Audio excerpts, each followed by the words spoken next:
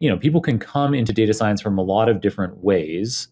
I think that coming from a programming background like yours can be the most valuable in today's um, job climate. And it sounds like you even you run into lots of scenarios as a PhD student where people value you hugely because of that programming background.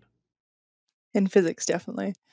There's a lot of that uh, what we call science science coding, where there are people who have come up through the sciences and at a certain point in their degree, they've or in their career or in academia, all of a sudden it's like now you need to write your own models, and they're like, well, crap, I've never written a program in my life, and they quickly learn Python and they write these like single scripts that have no documentation, no command line arguments. They comment out bits of code to get different command flow.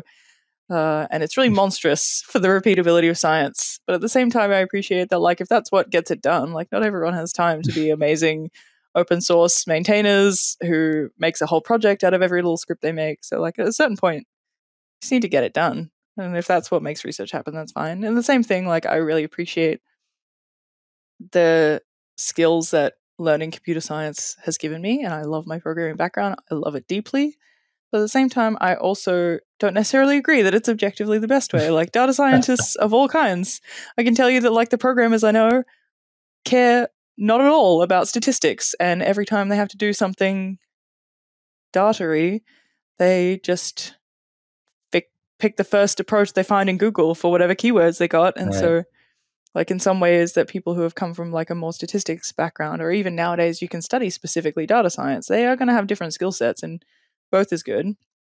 And you can always teach yourself the other thing. I think it's slightly easier for you to teach yourself programming when you're surrounded by programmers than it is for you to teach yourself a deep understanding of math. So if you have to study one at university, maybe pick the one that you're going to learn more from other people than just by trying yourself.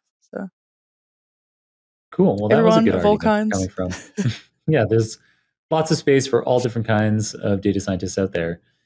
Um, surely, however, we can agree that regardless, developing both of these things then would be wonderful. Yeah. So whether you whatever background you came from, it could be completely different from programming or statistics um, or math.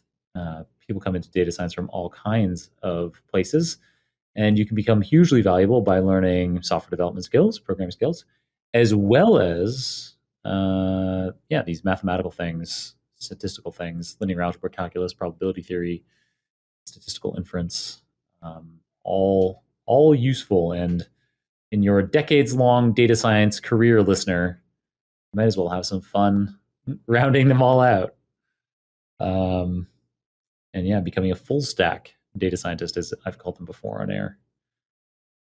Cool. the thing that remains consistent is like the curiosity. People get into data science because they want to answer questions and sometimes I see data scientists that have come from like policy backgrounds and stuff because they just they want to know how something works. Like you often get people who have come to data science from like sociology because they just they want to observe these different phenomenon.